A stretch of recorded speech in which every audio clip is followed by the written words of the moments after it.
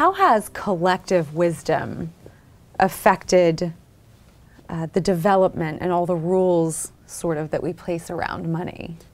The collective wisdom obviously changes no matter where, where uh, you are in society. So, for example, in um, the 19th century, in British Columbia in the Pacific Northwest, Native Americans, they had a ceremony called the potlatch.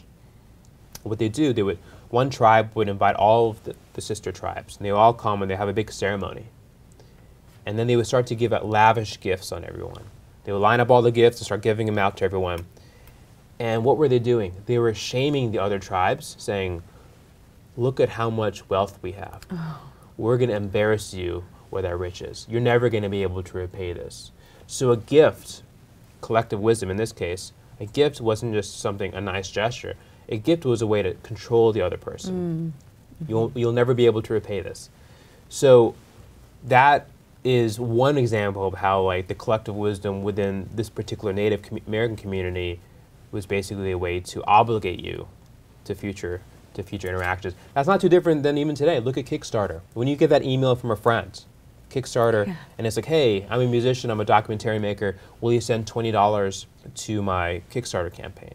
Well, you could say no, right, and suffer the consequences with your friendship. But if you if you put the twenty dollars in, now what happens is you've now reversed it.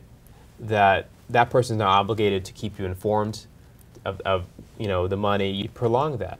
See, next time you go to a Starbucks, and they, and the, one of the baristas gives you a cup of coffee and you don't have to pay for it, you'll feel a little bit obligated to go back there yeah. and continue your business with them. Yeah. But the, the way money works is once I give you the money, this relationship is over, mm -hmm. and I'll see you later. So money has basically, money has basically um, created a more anonymous um, marketplace mm. where it's just valued on dollars and cents. It's not as you're not as reliant on your on relationships or your family. That's a good thing. That can be a negative thing. Mm.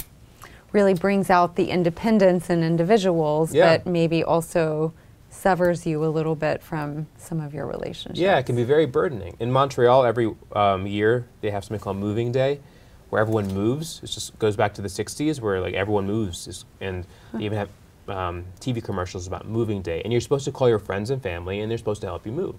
What happens? Sometimes your friends don't show up; they flake on you.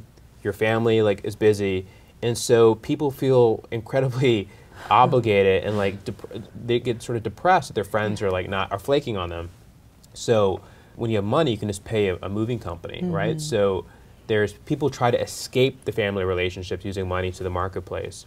Everyone talks about the corrosive nature of the marketplace, but there's also a good thing to it. You yeah. can be anonymous and carry out your business.